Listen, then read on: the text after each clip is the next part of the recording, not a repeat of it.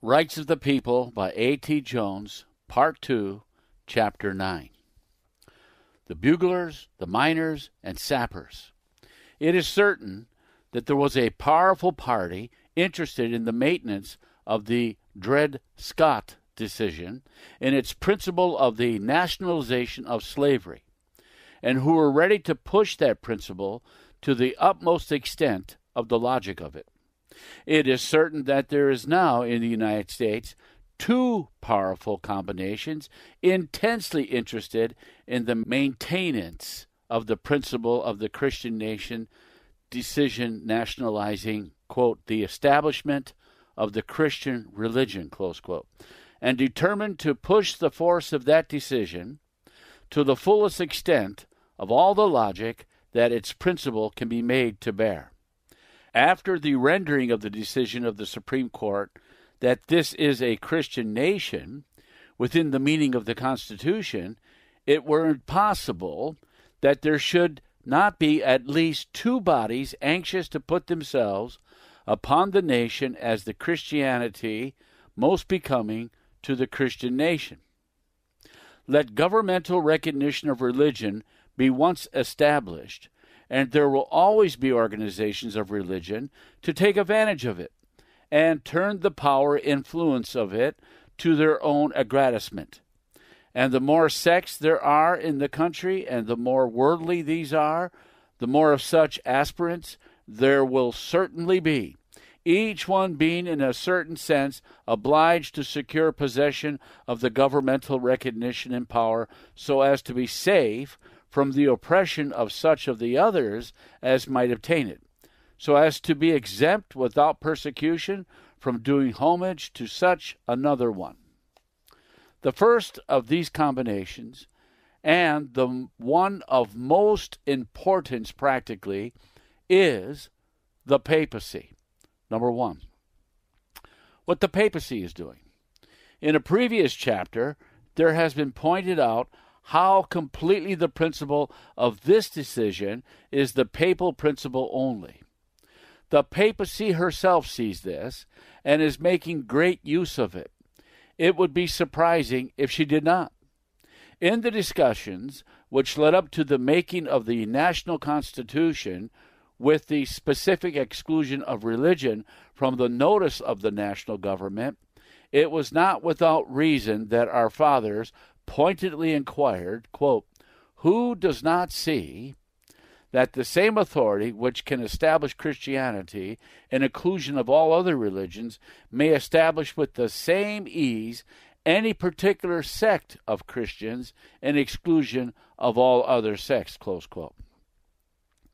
They knew full well that, as certainly as Christianity were established as the governmental religion, so certainly some particular sect of Christians would worm or crowd itself into the place of recognition and authority as the Christianity recognized and established, and this to the exclusion of all other sects, because it would be in some way decided by authority that that particular phase of Christianity was more in harmony with the intent of the law than any other. Thus they saw that any recognition of Christianity would inevitably bring forth a decision of some kind as to what is Christianity and what form of the profession is most entitled to the name and the favor of the government, as contemplated in the act of establishment or the form of recognition. And knowing this, they further and truly said that it is impossible for the magistrate to adjudge the right of preference among the various sects that profess the Christian faith without erecting a claim to infallibility, which would lead us back to the Church of Rome. Close quote.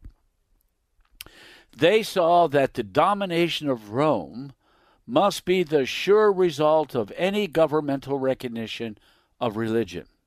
It was clearly the intent of the makers of the national government to save this country from the domination of Rome. It was therefore to accomplish this, as well as from love of the right of the people, that in their establishment of the national constitution they did it with the positive prohibition of any recognition of religion, and particularly the Christian religion. The papacy still lives. She still lives and is as thoroughly ambitious of governmental power as she ever was, and even more so if such a thing were possible. And as the government of the United States has done the very thing which the makers of the government said that it were impossible to do without leading back to the Church of Rome, it is proper to look about us and see if there are now any signs of this result from this action on the part of the government. As the papacy still lives, as it is true that the papacy learns much and forgets nothing, and as it is her boast that she never changes, it will be instructive to glance at what she did once in such a case. What the Catholic Church once did. In the beginning of the fourth century, in the Roman Empire, the Catholic Church was a powerful ecclesiastical organization, the leaders and managers of which were only anxious to assert the government as a kind of sovereignty for themselves. Constantine and Licinius, as joint emperors, issued the Edict of Milan, reversing the persecuting edicts of Diocletian and granting liberty and full freedom to the Christians to observe their own mode of worship, granting likewise to the Christians and to all the free choice to follow that mode of worship which they may wish, that each may have the privilege to select and to worship whatsoever divinity he pleases, and commanding that the churches and church property which have been confiscated by the Diocletian should be restored to the whole body of Christians and to each conventicle respectively. This was all just and proper enough and innocent enough in itself and on its face, if that had been all there was to it. But behind it, there lay this ecclesiastical organization ambitious to assert the government as a kind of sovereignty for itself. This ecclesiastical organization, the Catholic Church, claimed at that time, as ever since, to be the legitimate and only true representative and depository of Christianity in the world. And no sooner had the Edict of Milan ordered the restoration of property to the Christians than it was seized upon by the church leaders and made an issue by which to secure the imperial recognition and the legal establishment of the Catholic Church. The rule had long before been established that all who did not agree with the bishops of the Catholic Church were necessarily heretics and not Christians at all. It was now claimed by the Catholic Church that therefore none such were entitled to any benefit from the edict restoring property to the Christians. In other words, the Catholic Church disputed the right of any others than Catholics to receive property or money under the Edict of Milan by disputing their right to the title of Christians. And by this issue, the Catholic Church forced an imperial decision as to who were Christians and under the circumstances, by the power and influence which she held, and by what she had already done with these in behalf of Constantine, it was a foregone conclusion, if not the concerted plan, that this decision would be in favor of the Catholic Church. Consequently, Constantine's edict to the proconsul directing the restoration of the property contained these words quote, It is our will that when thou shalt receive this epistle, if any of those things belonging to the Catholic Church of the Christians in the several cities or other places are now possessed either by the decurions or any others, these thou shalt cause immediately to be restored to their churches, since we have previously determined that whatsoever these same churches before possessed should be restored to them. Nor was it enough that the emperor should decide that all these favors were for the Catholic Church of the Christians. He was obliged next to decide which was the Catholic Church.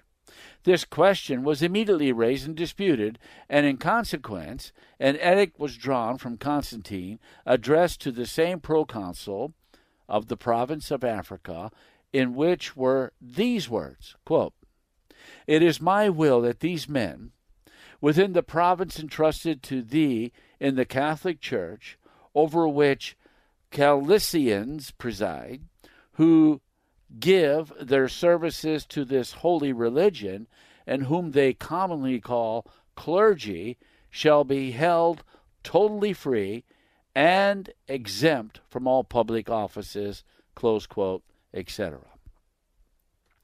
The party over which Caecilius presided in Africa was the party which was in communion with the Bishop of Rome. As these only were favored, the other party drew up a long series of charges against Caecilius and sent them to the emperor with a petition that he would have the case examined by the bishops of Gaul. Constantine was in Gaul at the time, but instead of having the bishops of Gaul examine into the case alone, he commissioned three of them to go to Rome and sit with the Bishop of Rome in council to decide the case. Constantine sent a letter with copies of all the charges and complaints which had been lodged with him, and in this letter to the Bishop of Rome, with other things, he said this quote, Since it neither escapes your diligence that I show such regard for the Holy Catholic Church that I wish you, upon the whole, to leave no room for schisms or divisions. This council, of course, confirmed the emperor's word that the Catholic Church in Africa was indeed the one over which Caecilius presided. The other party appealed from this decision and petitioned that another and larger council be called to examine the question. Another council was called, composed of almost all the bishops of Constantine's dominions. This council likewise confirmed the emperor's word and the decision of the former council. Then the opposing party appealed from the decision of the council to the emperor himself. After hearing their appeal, he sustained the action of the councils and reaffirmed his original decision. Then the opposing party rejected not only the decisions of the councils, but the decision of the emperor himself. Then Constantine addressed a letter to Caecilius, bestowing more favor upon what he now called the legitimate and most holy Catholic religion, and empowering him to use the civil power to compel the opposing party, the Donatists, to submit. This portion of his letter is in the following words quote, Constantine Augustus to Saturninus, Bishop of Carthage. As we have determined that in all the provinces of Africa, Numidia, and Mauritania, something should be granted to certain ministers of the legitimate and most holy Catholic religion to defray their expenses. I have given letters to Ursus, the most illustrious lieutenant governor of Africa, and have communicated to him that he shall provide to pay to your authority three thousand folles, about a hundred thousand dollars. And as I have ascertained that some men who are of no settled mind, wished to divert the people from the most holy Catholic Church by a certain pernicious adulteration. I wish thee to understand that I have given both to the proconsul Anulinus and to Patricius, vicar general of the prefects, when present, the following injunctions that among all the rest they should particularly pay the necessary attention to this, nor should by any means tolerate that this should be overlooked. Wherefore, if thou seest any of these men persevering in this madness, thou shalt without any hesitancy proceed to the aforesaid judges and report it to them, that they may animadvert upon them as I have commanded them when present. Thus, no sooner was it decided what was the legitimate and most holy Catholic Church that the civil power was definitely placed at the disposal of that church with positive instructions to use that power in compelling conformity to the new imperial religion. Persecution was begun at once. The Donatists' bishops were driven out, and Constantine commanded that their churches should be delivered to the Catholic party, nor was this done at all peacefully.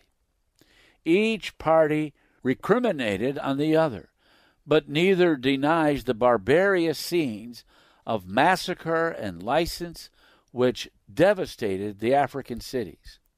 The Donatists boasted of their martyrs, and the cruelties of the Catholic party rest on their own admission.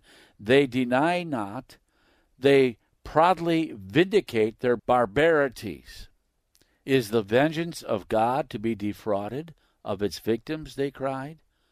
This was quoted from Milman, History of Christianity, Book 3, Chapter 1, Paragraph 5, from the end and the government, by becoming a partisan, had lost the power to keep the peace. The civil power, by becoming a party to religious controversy, had lost the power to prevent civil violence between religious factions. Nor was this thing long in coming. It all occurred within less than four years. The Edict of Milan was issued, in the month of March AD 313. Before that month expired, the decision was rendered that the imperial favors were for the Catholic Church only. In the autumn of the same year, 313, the first council sat to decide which was the Catholic Church.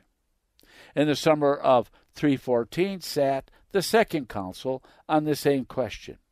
And in 316, the decree was sent to Caecilius, empowering him to distribute that money to the ministers of the legitimate and most holy Catholic religion, and to use the civil power to force the Donatists to submit to the decision of the councils and the emperor.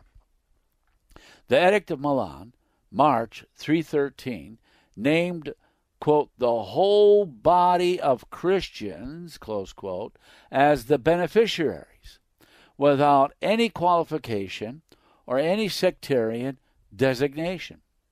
Before the expiration of that month, the provisions of the edict was confined to the Catholic Church of the Christians alone. In the autumn of the same year, when the emperor wrote to the Bishop of Rome appointing the first consul, he defined the established church as the Holy Catholic Church. The following summer, 314, when he called the second council, he referred to the doctrine of the Catholic Church as embodying the most holy religion. And when it had been decided which party represented this most holy religion. Then in 316, his letter and commission to Caecilianus defined it as the legitimate and most holy Catholic religion. Nor was this all. While this was going on, also about the year 314, the first edict in favor of Sunday was issued, though it was blended with Friday. It ordered that on Friday and on Sunday no judicial or other business should be transacted, but that God should be served with prayers and supplications. And in 321, Friday observance was dropped, and Sunday alone was exalted by the famous Sunday rest law of Constantine, all in furtherance of the ambition of the ecclesiastics to assert the government as a kind of sovereignty for themselves. In 323, by the direct and officious aid of the Catholic Church, Constantine succeeded in defeating Licinius and making himself sole emperor. No sooner was this accomplished that the religious liberty assured to the Christians by the Edict of Milan, like the provisions of the same edict restoring confiscated property to the Christians, was by a public and express edict limited to Catholics alone. This portion of that decree runs as follows quote, Victor Constantinus, Maximus Augustus to the heretics. Understand now by this present statute, ye Novatians, Valentinians, Marcionites, Paulinians, ye who are called Cataphrygians, and all ye who devise and support heresies by means of your private assemblies, with what a tissue of falsehood and vanity, and what destructive and venomous errors your doctrines are inseparably interwoven, so that through you the healthy soil is stricken with disease, and the living becomes the prey of everlasting death. Forasmuch then, as it is no longer possible to bear with your pernicious errors, we give warning by this present statute that none of you henceforth presume to assemble yourselves together.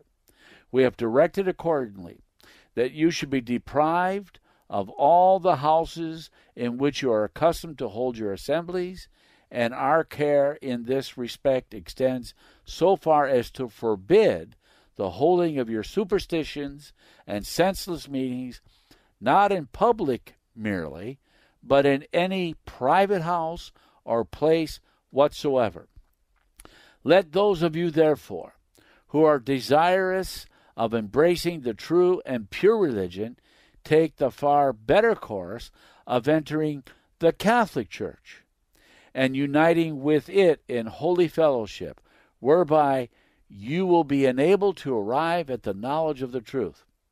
It is an object worthy of that prosperity which we enjoy through the favor of God to endeavor to bring back those who in time past were living in the hope of future blessing from all irregularity and error to the right path, from darkness to light, from vanity to truth, from death to salvation.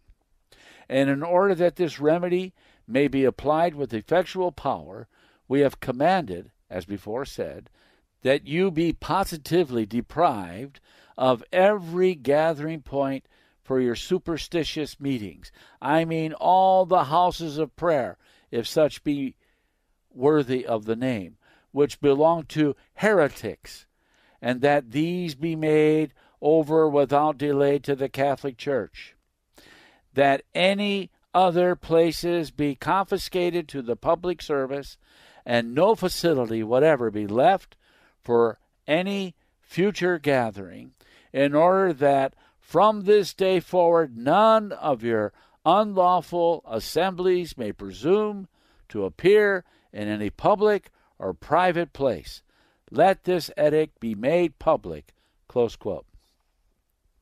Thus, in less than 11 years from the issuing of the Edict of Milan, the Catholic Church stood in full and exclusive possession of the authority of the empire, both in the rights of property and the right to worship under the profession of Christianity, and with a specific and direct commission to use that power and authority to compel the submission of heretics. Thus was made the papacy the beast of Revelation 13, verses 1 through 10. And all that ever came in its career from that day to this has been but the natural, inevitable growth of the power and the prerogatives which were then possessed and claimed by the Catholic Church. And it all came from the Edict of Milan bestowing governmental favors upon the Christians.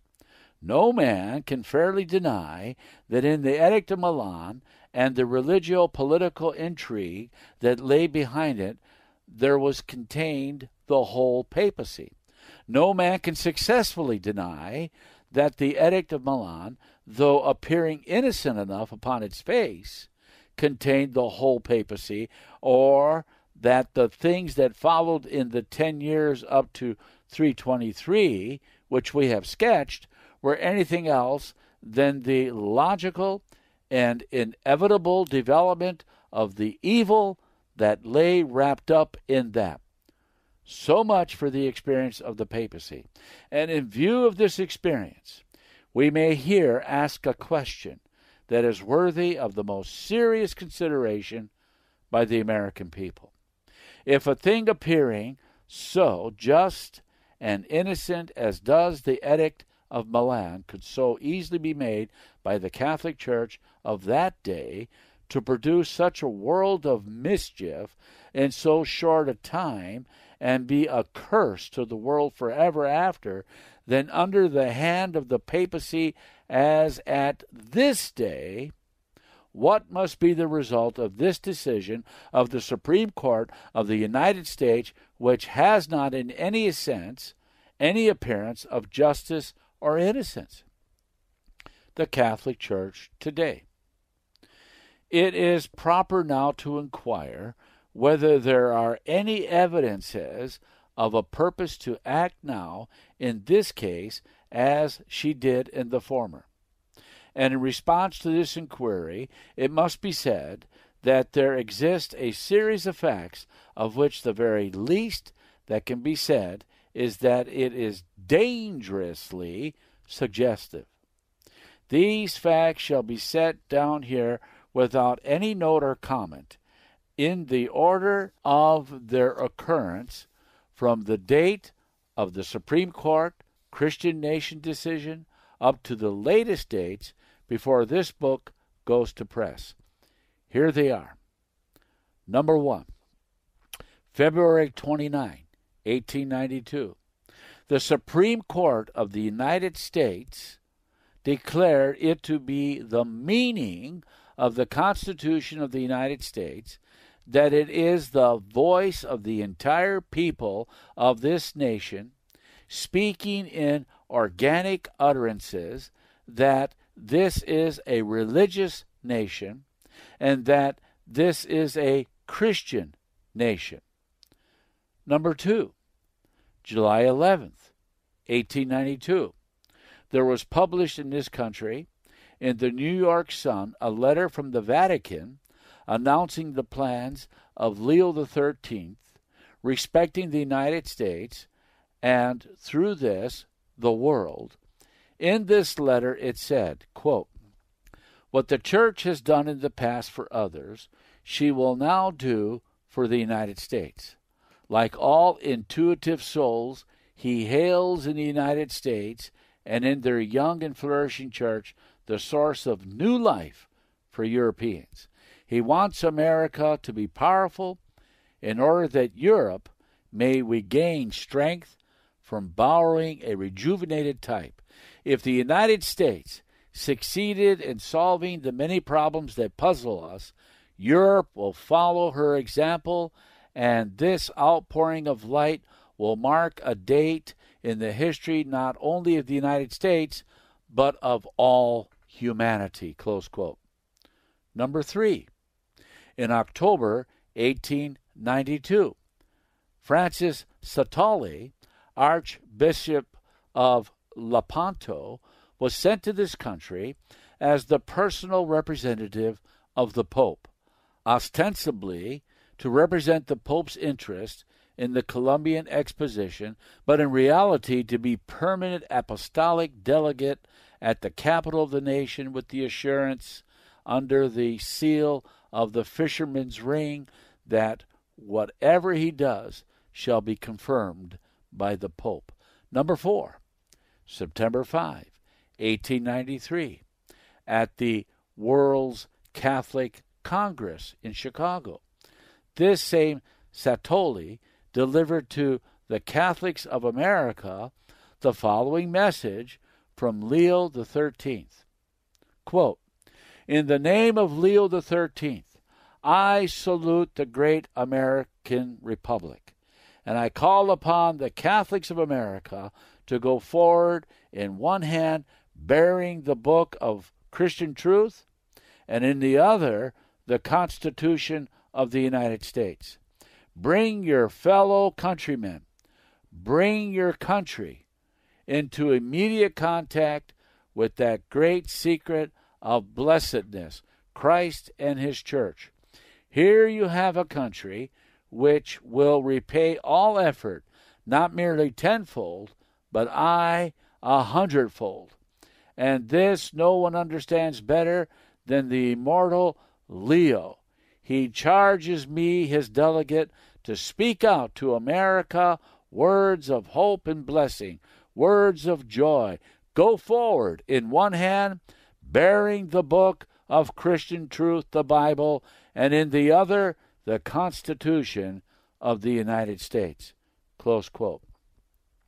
Number five.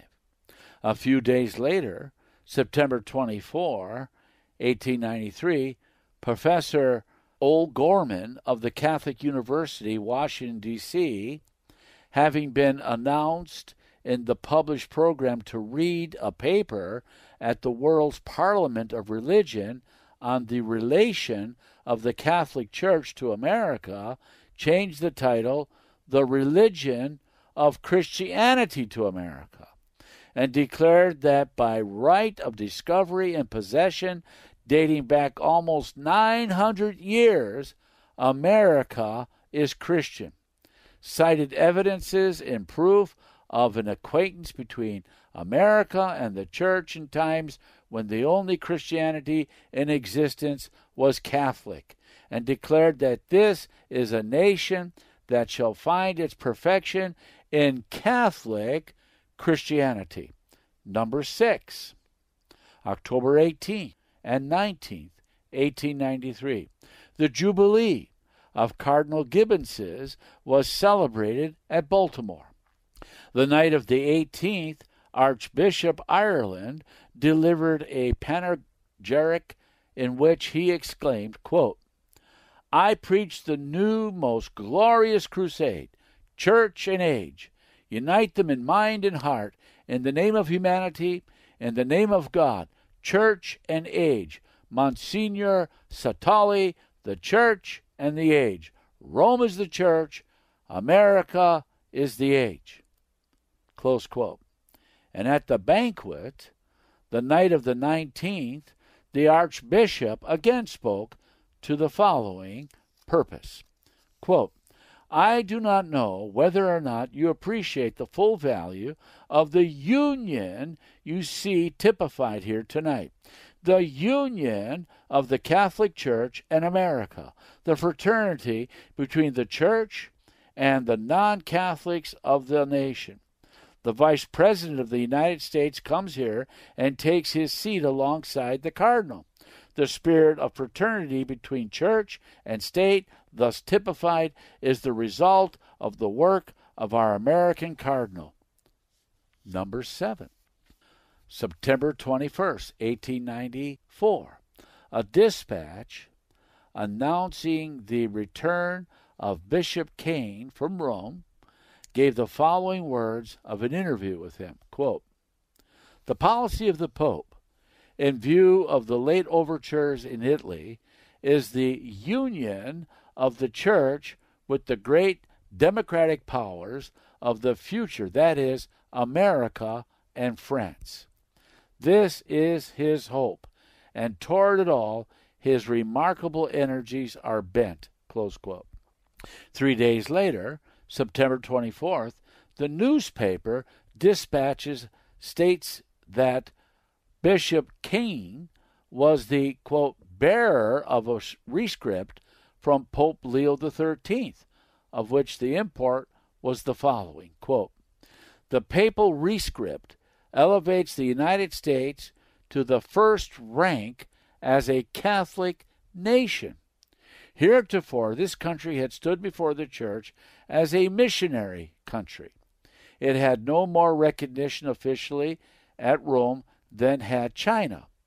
By the new rescript, the country is freed from the propaganda and is declared to be a Catholic country. The importance, not only to Catholics, but to all citizens of the United States of this radical change in the relations to Rome of the Church in America can scarcely be overestimated. Close quote. Number eight, a letter from the Vatican dated October 14th, 1894, to the New York Sun, republished in the Catholic Standard in Philadelphia of November the 3rd, says, quote, the United States of America, it can be said without exaggeration, are the chief thought of Leo XIII in the government of the Roman and Universal Catholic Church, for he is one of the choice intellects of the old world who are watching the starry flag of Washington rise to the zenith of the heavens. A few days ago, on receiving an eminent American, Leo XIII said to him, But the United States are the future. We think of them incessantly. This ever ready sympathy has its base in the fundamental interests of the Holy See, in a peculiar conception of the part to be played and the position to be held by the Church and the papacy in the times to come. This is why Leo XIII turns all his soul, full of ideality, to what is improperly called his American policy. It should be rightly called his Catholic universal policy. Close quote. Number nine. In his encyclical of January the 6th, 1895, to the hierarchy in America, Leo XIII himself speaks and says, quote, We highly esteem and love exceedingly the young and vigorous America nation in which we plainly discern Latin forces for the advancement of like of civilization and of Christianity. The fact that Catholicity with you is in good condition, nay, is even enjoying a prosperous growth, is by all means to be attributed to the fecundity with which God has endowed His church, but she would bring forth more abundant fruits if, in addition to liberty, she enjoyed the favor of the laws and the patronage of the public authority. Number 10. The Catholic Mirror, Baltimore, of March 2nd, 1895, reported a sermon by Father Lyons of that city, delivered Sunday evening, February 24th, 1895, in which he said, quote, It is strange that a rule which requires a Supreme Court to give final decisions on disputed points in our Constitution should be abused and slandered when employed by the Catholic Church. Citizens and others may read the Constitution, but they are not allowed to interpret it for themselves, but must submit to the interpretations given by the superior Supreme Court. The Bible is the constitution of the Catholic Church, And while all are exhorted to read this divine constitution, the interpretation of its true meaning must be left to the superior court of the church founded by Christ. The decision of our federal Supreme Court is final. The decision of the superior court of the church is final also, and in virtue of the divine prerogative of inerrancy granted the church infallible. The church has not, does not, and cannot permit the violation of God's commandments in any case whatsoever. Close quote. Number 11. March 11th, 1895, the New York Advertiser printed a dispatch of March 10th from San Francisco as follows Quote, San Francisco, March 10. Private advices received here give an interesting and important communication from Monsieur Satolli to officials in Guatemala concerning that country's following the course of Nicaragua in sending to Rome an envoy extraordinary and ministers plenipotentiary. In the course of the document, reference is made as to the propriety under the United States Constitution of official relations between Washington and Rome, and an interpretation given of that feature of the Constitution relative to the separation of church and state. Monsieur Satolli's letter was written while negotiations were pending about four months ago. It refers at length to difficulties in church administration in Guatemala and suggests that certain changes desired by the government should be accompanied by an equivalent of serious advantage to render less burdensome the condition of the church in Guatemala. The document then adds the condition of the Catholic Church in the United States, in whose Constitution was inserted the article of separation of the state from any religious sect, cannot escape our consideration. I might almost say it causes no surprise. If up to date no official relations exist between the government and the Holy See, it is because the great majority of the population is anti Catholic. In the meantime, the church here is attaining possibly greater development and liberty than in other states. It is stated that this is the first time, so far as is known, that Monsieur Satolli's mission has been extended outside of spiritual questions and has dealt with governmental subjects. Close quote. Now, can any man read over this string of facts and deny that there is being carried out by the papacy in the United States a fixed purpose to crowd herself into place in this nation as the Christianity of this Christian nation?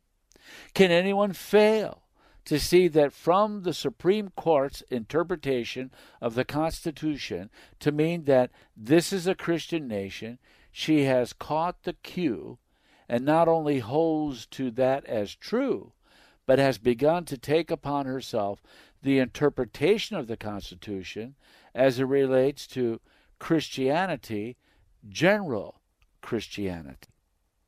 There is another fact to be set down here which will make this point yet more distinct. It is this In the Catholic world, for the month of September 1871, there was printed a leading article in which the Constitution of the United States was referred to in the following words quote, As it is interpreted by the liberal and sectarian journals that are doing their best to revolutionize it, and is beginning to be interpreted by no small portion of the American people, or is interpreted by the Protestant principle so widely diffused among us, we do not accept it or hold it to be any government at all, or as capable of performing any of the proper functions of government.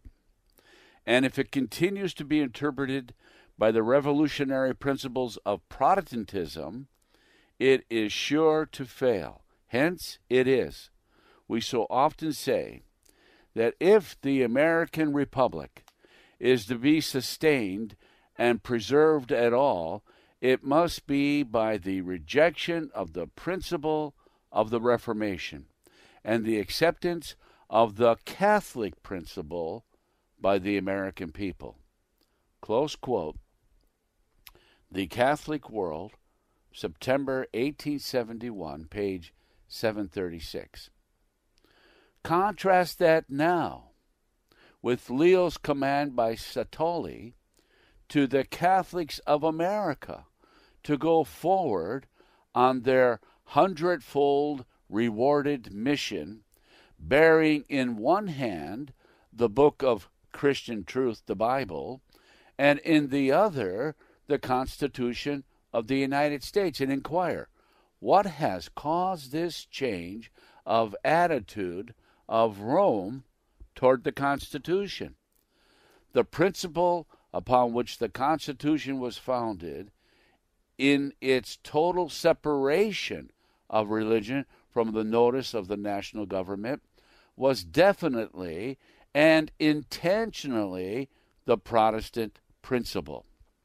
In the discussions which led up to the making of the Constitution as it reads in this respect, and in the discussions upon the Constitution in the conventions which made it, we have seen that this point was especially dealt with, and the Protestant principle was the one chosen and made the principle of the Constitution.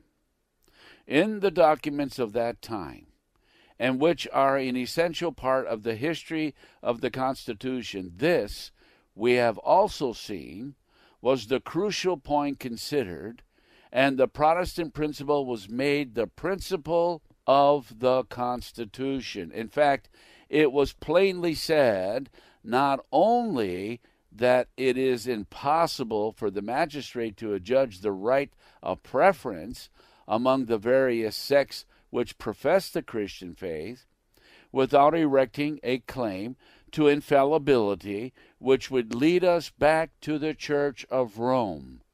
But it was also said that to judge for ourselves and to engage in the exercise of religion agreeably to the dictates of our own consciences, it is an unalienable right which, upon the principles on which the gospel was first propagated and the Reformation from popery carried on, can never be transferred to another.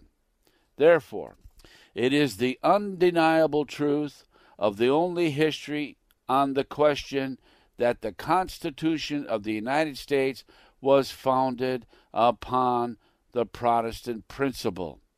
And while it was held so, no Catholic was ever commanded by any pope to take that Constitution in one hand and the Bible in the other for any purpose under the sun. On the contrary, they openly declared that so long as the Constitution was held to that principle, Catholics did not accept it, nor hold this government to be any government at all.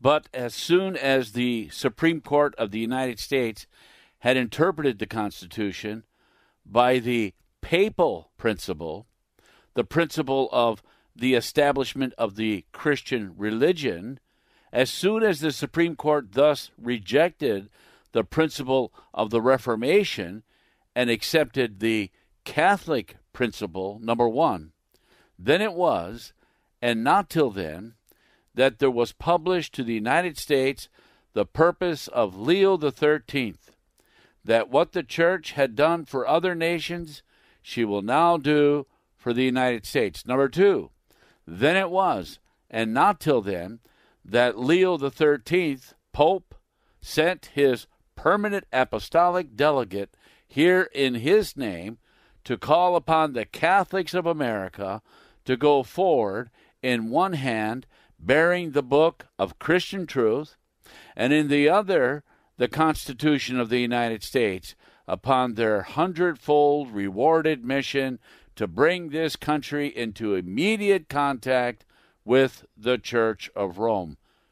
And then, number three, then it was that in the world's parliament of religions, Professor O'Gorman for the Catholic Church claimed this country as Catholic, and which must find its perfection in Catholic Christianity. Number four, then it was that Archbishop Ireland could proudly point out the union of the Catholic Church in the United States, typified in the vice president sitting at the right hand of the cardinal. Number five, then it was that it could be announced as the policy of the Pope toward which all his remarkable energies are bent to unite the Church and America. Number six, then it was that Leo XIII could officially declare the United States to be a Catholic country and elevate it to the first rank as a Catholic nation.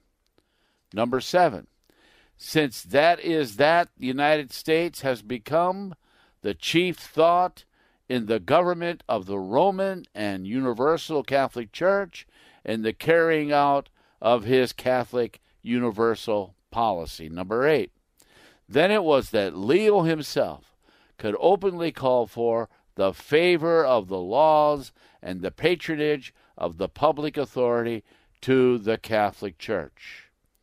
Number nine, then it was, and merely the consequence, too, that the papacy could set forth the doctrine that interpreting the Constitution, the decision of the Supreme Court is final, and that the people may read the Constitution, but they are not allowed to interpret it, but must submit to the interpretation given by the Supreme Court. Number 10. And thus it is that Satolli can now take it upon himself to interpret the Constitution in its new relationship to religion and set forth that the Constitution, in its separation of government and religion, meant only the separation of the state from any religious sect, the very doctrine of the Christian Nation Court and its decision. As it is certainly nothing else than the Catholic Bible which Leo, through Satolli, has commanded the Catholics of America to take in one hand, so certainly also is it nothing else than the Catholic Constitution of the United States that he has commanded them to take in the other hand. As so long as that Constitution was interpreted by the Protestant principle, the Catholics did not accept it. And now they are all commanded to accept it and use it equally with the Catholic Bible in their mission to bring this country into immediate contact with the papacy. It follows inevitably that to the satisfaction of the papacy, that constitution has been interpreted according to the papal principle. And as they themselves say, and that its interpretation is final, this proves conclusively that the decision of the Supreme Court of the United States interpreting the Constitution to mean that this is a Christian nation is the cause of this change in the attitude of the papacy toward the Constitution, and is the foundation of this series of facts in the course of the papacy in crowding itself upon the country as the Christianity of this Christian nation. Thus it stands as clear as though it were the letters of fire that in its decision that this is a Christian nation, the Supreme Court of the United States accomplished to the satisfaction of the papacy precisely the thing that the papacy had long demanded that is, the rejection of the principle of the Reformation, and the acceptance of the Catholic principle in the interpretation of the national constitution. Thus, in principle, the work of our governmental fathers has been undone. The barrier which they set up against the nations being led back to the Church of Rome has been broken down, and that church has already entered upon the consequential task of leading the nation back to that iniquitous goal. The all important question now is will the American people receive or support or submit to this rejection of the principle of the Reformation and the acceptance of the Catholic principle as the principle of the interpretation of the Constitution of the United States. Number two, what Protestantism is doing. The other combination, which is determined to push the Christian nation decision to the fullest extent of the logic of it is the combined Protestantism of the country. Probably the reader has already asked himself, what is Protestantism doing all this time? Well, Protestantism, to be true to its name and vital principles, ought with one voice be protesting against this Christian nation decision in every conceivable shape for the celebrated protest, which gave to the Reformation the title of Protestantism, is decidedly against it. Quote, the principles contained in the celebrated protest of the 19th of April, 1529, constitutes the very essence of Protestantism. Now, this protest opposes two abuses of man in matters of faith. The first is the intrusion of the civil magistrate, and the second, the arbitrary authority of the church. Instead of these abuses, Protestantism sets the power of conscience above the magistrate and the authority of the Word of God above the visible church. In the first place, it rejects the civil power in divine things and says with the apostles and prophets, we must obey God rather than man. In the presence of Charles V, it uplifts the crown of Jesus Christ. Close quote. D'Aubigné, History of the Reformation, Book 13, Chapter 6, Paragraph 18. This is what Protestantism ought to be doing now in this case, but the fact is that instead of doing this, that which stands for Protestantism in this country is the most persistent caller for the intrusion of the civil magistrate in matters of faith and is no less strenuous in its assertion of the arbitrary authority of the church than the papacy itself. And in all this, that which stands for Protestantism in this country is the greatest aid that the papacy has in her mischievous purposes upon the country. From the day that the decision of the Supreme Court was made public and obtainable, the leaders of Protestantism in the country have been using it for all that it could be made to be worth to crowd upon the government the recognition and maintenance of the Christian religion. For 29 years, there had been an organized effort by professed Protestants to have the Christian religion established as the national religion by a constitutional amendment.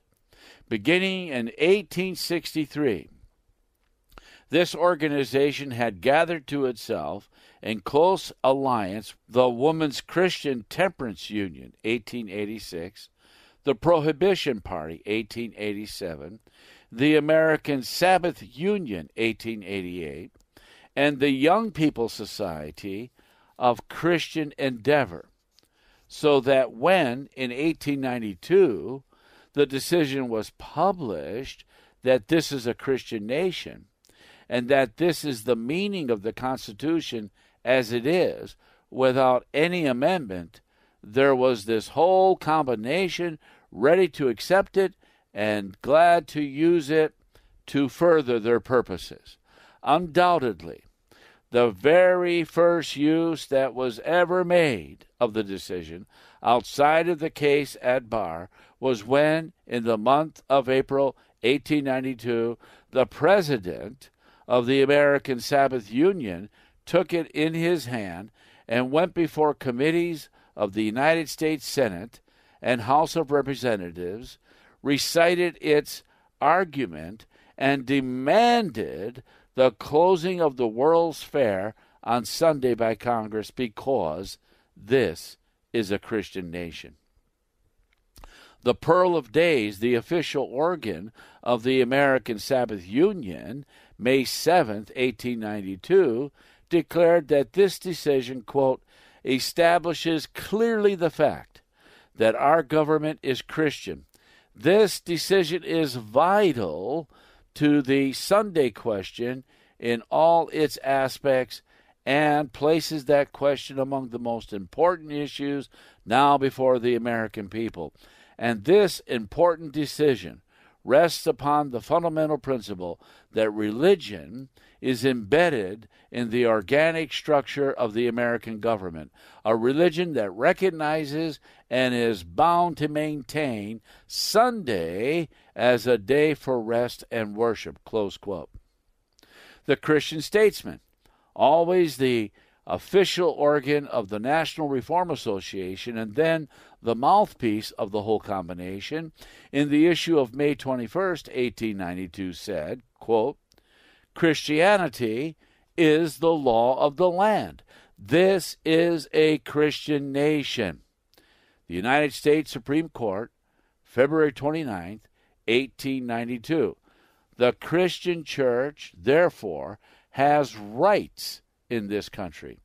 Among these is the right to one day in seven, protected from the assaults of greed, the God of this world, that it may be devoted to worship of the God of heaven and earth. And in preparation for Thanksgiving Day the same year, the Christian Statesman of November 19th, 1892, came out with the following, which tells all of that part of the story that needs to be told. We print it just as it there appeared, titles and all.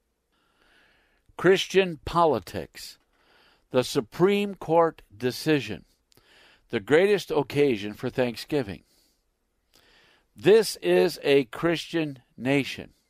That means Christian government, Christian laws, Christian institutions, Christian practices, Christian citizenship, and this is not an outburst of popular passion or prejudice.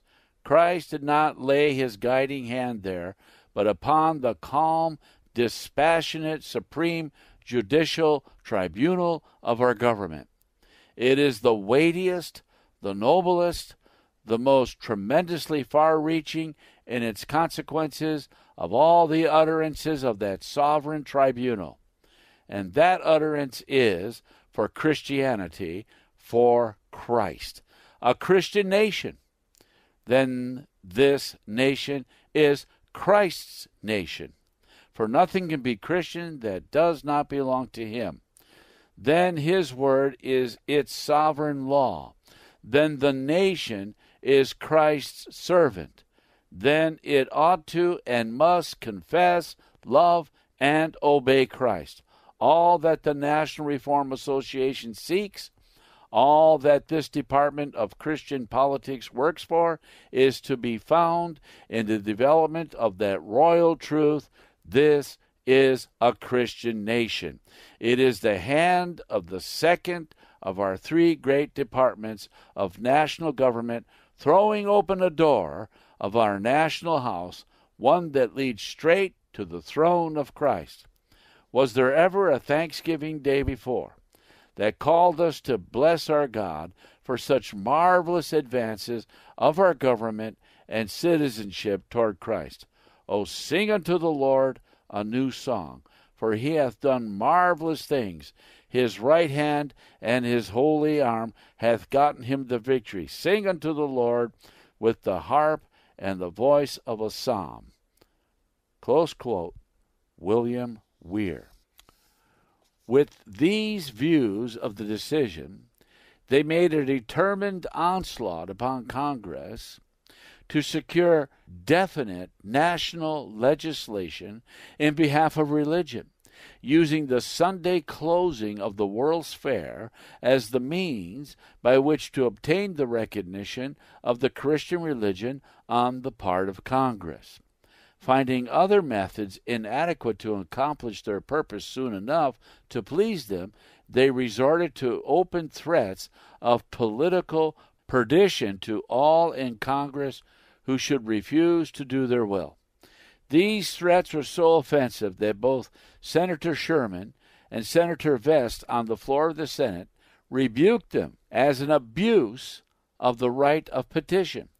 A sample of these threatening petitions, which were sent up to Congress from the churches all over the country, is the following sent up by certain Presbyterian churches in New York. It reads thus quote, Resolved that we do hereby pledge ourselves and each other that we will from this time henceforth refuse to vote for or support for any office or position of trust any member of Congress, either senator or representative, who shall vote for any further aid of any kind to the World's Fair except on conditions named in these resolutions. This effort was successful. Congress yielded to the demand and enacted the required legislation, and this too distinctly as religious legislation, setting up Sunday by national law as the Christian Sabbath. The record of that transaction is as follows. In the Congressional Record of July 10, 1892, page 6614 is this report. Quote, Mr. Quay, on page 122, line 13, after the word act, I move to insert, and that provision has been made by the proper authority for the closing of the exposition on the Sabbath day. The reasons for the amendment I will send to the desk to be read. The Secretary will have the kindness to read from the book of law I send to the desk the part enclosed in brackets. The Vice President. The part indicated will be read. The Secretary read as follows Quote, Remember the Sabbath day to keep it holy. Six days shalt thou labor and do all thy work. But the seventh day is the Sabbath of the Lord thy God. In it thou shall not do any work, thou, nor thy son, nor thy daughter, nor thy manservant, nor thy maidservant, nor thy cattle, nor thy stranger that is within thy gates. For in six days the Lord made heaven and earth, the sea, and all that in them is, and rested the seventh day. Wherefore the Lord blessed the Sabbath day and hallowed it. Close quote. The foregoing is all that was said or done in relation to the question that day. The next legislative day, however, the question was taken up and discussed. The debate was opened by Senator Manderson of Nebraska, and in the record of July 12, pages 6694, 6695, and 6701, we read as follows quote, The language of this amendment is that the exposition shall be closed on the Sabbath day. I submit that if the senator from Pennsylvania desires that the exposition shall be closed upon Sunday, this language will not necessarily meet that idea.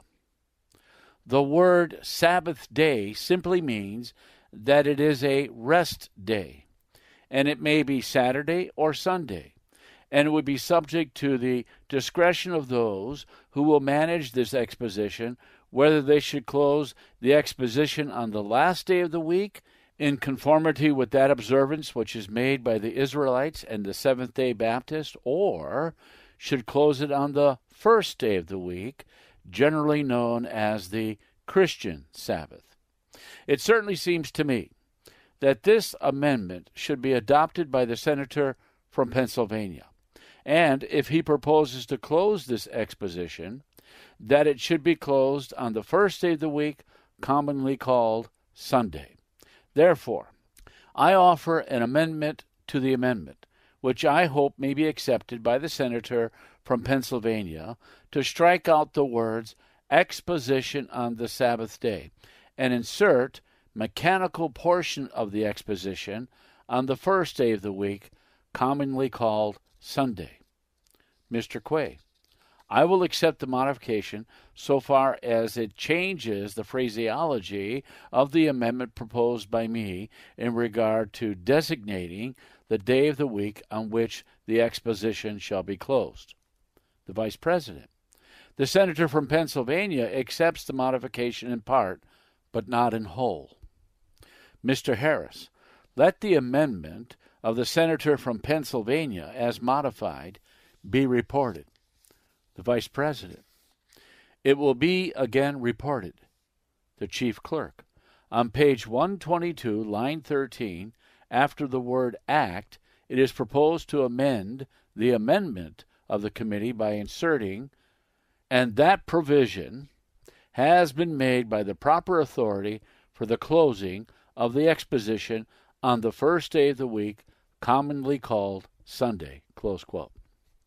This amendment was afterward further amended by the insertion of the proviso that the managers of the exposition should sign an agreement to close the fair on Sunday before they could receive any of the approbation.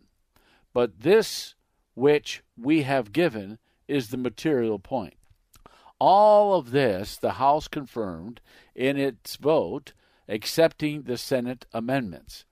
Besides this, the House had already, on its own part, by a vote of 131 to 36, adopted Sunday as the Christian Sabbath, and by a vote of 149 to 11, explicitly rejected the Sabbath itself. Indeed, the way the matter came up, the House by this vote practically decided that the seventh day is not the Sabbath.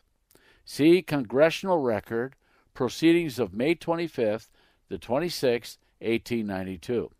Such is the official record. Now, let us study the principle.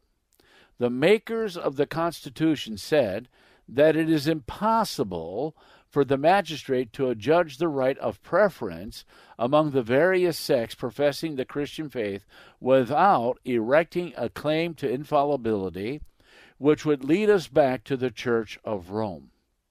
The first thing to be noticed in this record is that Congress did precisely this thing. It did adjudge the right of preference among sects that profess the Christian faith. The Seventh day Baptists and their observance of the seventh day as the Sabbath of the commandment quoted were definitely named in contrast with those who observe the first day of the week, generally known as the Christian Sabbath, with reference to the commandment quoted and the preference was adjudged in favor of the latter. Now, the Seventh day Baptists are a sect professing the Christian faith. The original Sabbath commandment was quoted word for word from the Scriptures. The words of that commandment, as they stand in the proceedings of Congress, say, The seventh day is the Sabbath. The Seventh day Baptists, a sect professing the Christian faith, observed the very day, the seventh day, named in the scripture quoted in the record. There are other sects professing the Christian faith who profess to observe the Sabbath of this same commandment by keeping the first day of the week, commonly called Sunday, and hence it is that that day is generally known as the Christian Sabbath. These facts were known to Congress and were made a part of the record. Then, upon this statement of facts as to the difference among sects professing the Christian faith touching the very religious observance taken up by Congress, the Congress did deliberately and in set terms adjudge the right of preference between these sects professing the Christian faith. Congress did adjudge the right of preference in favor of those sects which observe the first day of the week, generally known as the Christian Sabbath, as against the plainly named sect which observes the day named in the commandment which Congress quoted from the Bible. Thus, the Congress of the United States did the very thing which the fathers of the nation declared it impossible to do without erecting a claim to infallibility which would lead us back to the Church of Rome. Let us follow this proceeding a step or two further and see how certainly it does lead to Rome. From the official record, it is plain as anything that can be that the Congress of the United States, in its own official capacity, did take it upon itself to interpret the Scripture. It did it in legislation action, put an interpretation upon the commandment of God. Congress quoted the commandment bodily, which from God commands the observance of the seventh day, and which definitely names the day, the seventh day, to be observed. Congress then declared that the word Sabbath day means so and so, and that it may be one day or another, Saturday or Sunday, and upon this did decide which day it should be, namely, the first day of the week, commonly called Sunday.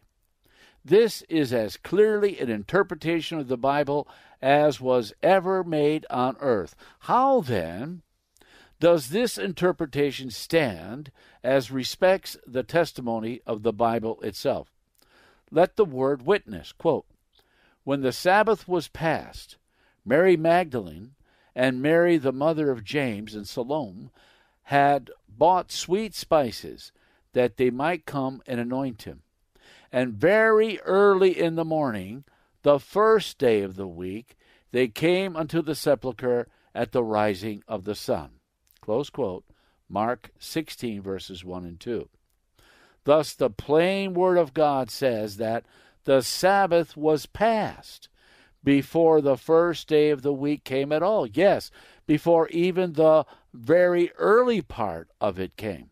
But lo, the Congress of the United States officially decides that the Sabbath is the first day of the week. Now, when the Word of God plainly says that the Sabbath is past before the first day of the week comes, and yet Congress says that the first day of the week is the Sabbath, which is right.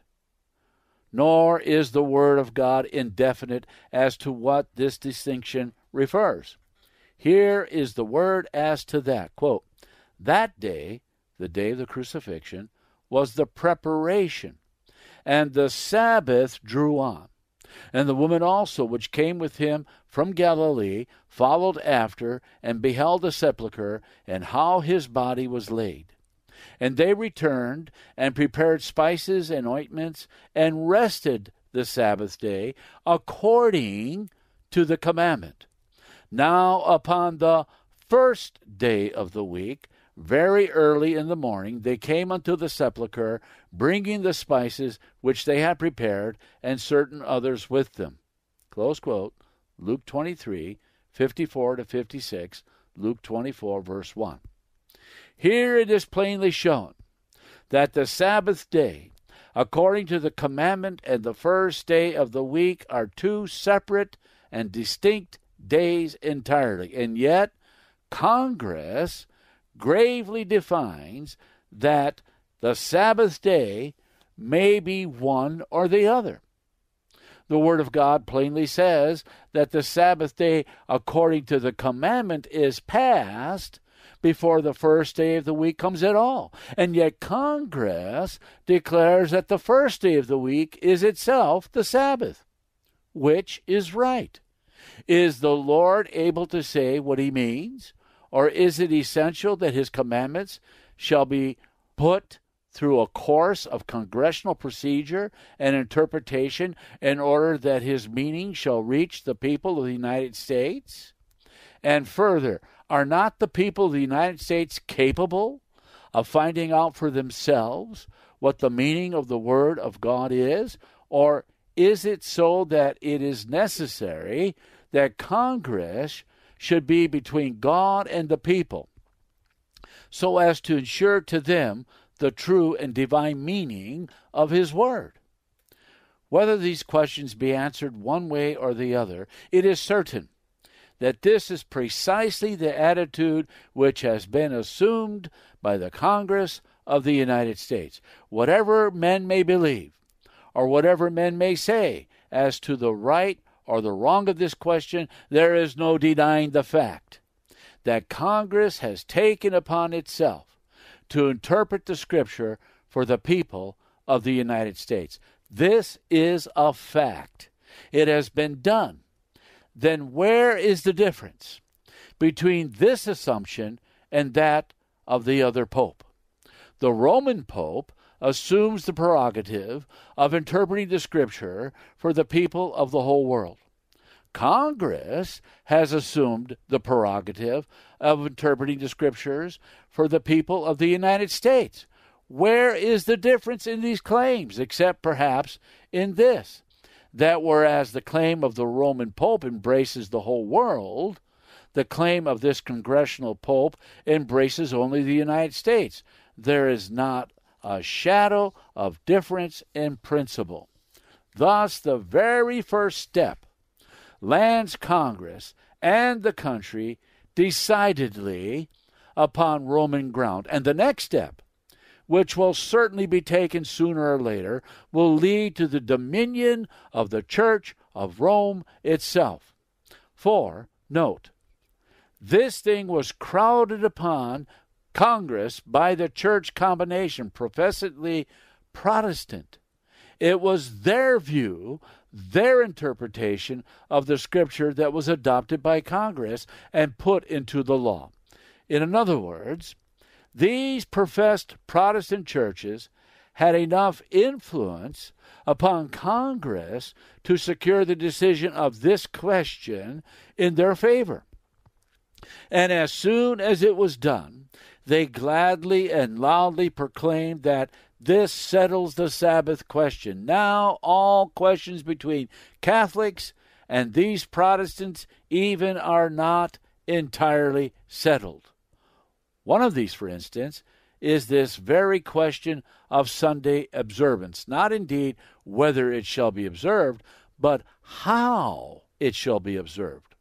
Let this or any other question be disputed between them, and all the Catholic Church has now to do is to bring enough influence to bear upon Congress to get the question decided in her favor. And there you have it the whole nation is then delivered bodily over into subjection to Rome. And when it shall have been done, no Protestant who has or has had anything to do with this Sunday law movement can ever say a word. For if the action of Congress settles a religious question when it is decided in their favor, they can never deny that such action as certainly settles a religious question when it is decided in favor of the Catholic Church. If they accept and require others to accept such a decision of civil power when it suits them, they must likewise accept such a decision when it suits the Catholics and this other thing will as certainly come as that this has already come. And thus, the government and people of the United States will have been delivered into the hands of Rome by this blind procedure of apostate Protestantism. That which our fathers feared and which they supposed they had forever prevented will have come. The decisive step toward this certain consummation has been taken by the combined Protestantism of the country in this successful demand upon the United States that Congress should interpret the Scripture, decide a religious dispute, and settle a religious question.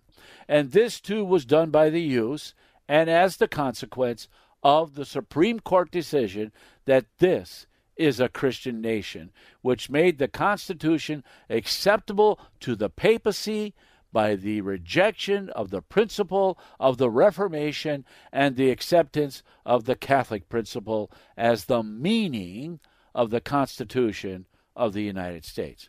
This, we repeat, the professed Protestantism of the country has done upon the basis and in the use of the Christian nation decision. In their whole course in this matter, when any doubt or opposition was shown, they never failed to sound the merits of this Supreme Court decision. This was final and settled all questions. The leading Methodist paper of the country, the New York Christian Advocate, in referring to the discussion of the question in Congress, said, quote, Every utterance upon this subject was in harmony with a late decision of the United States Supreme Court, whereby it is to be forever regarded as a settled principle that this is a Christian nation. Close quote. And now the papacy takes up the strain and also declares that a decision of the Supreme Court interpreting the Constitution is final and just as soon as the Catholics can so influence Congress as to comply with the Pope's published wish that that church shall enjoy the favor of the laws and the patronage of the public authority, then, with the doctrine already fastened upon the country by Protestants that this Supreme Court decision is final, the whole nation will find itself fastened under the domination of Rome whose decisions by the same rule are also final and infallible. Thus, and certainly is the nation being steadily drawn toward Rome by the violation of the fundamental principle which our fathers established, by the doing of that thing which they truthfully declared impossible to be done, without erecting a claim to infallibility which would lead us back to the Church of Rome. And this is what the Protestantism of the country is doing in this crisis, doing all it possibly can to aid and confirm the monstrous evil. This universal and insidious Sunday law issue in the hands of professed Protestants is the miner and sapper in this siege of the national power by Rome, and so diligently have they plied themselves in this and other like things that we have not space to mention, that all is on the verge of being ready for Rome to sound the bugle, spring the mine, and in the confusion seize the very citadel of the national power and revive the old time religious despotism with all its horrors, while the people of the United States will find themselves here tied down and helpless and run over like sheep. There is another line of evidence that develops yet more clearly the present crises and makes more emphatic the fact that this crisis is imminent. This is presented in the next chapter. This is the end of chapter 9.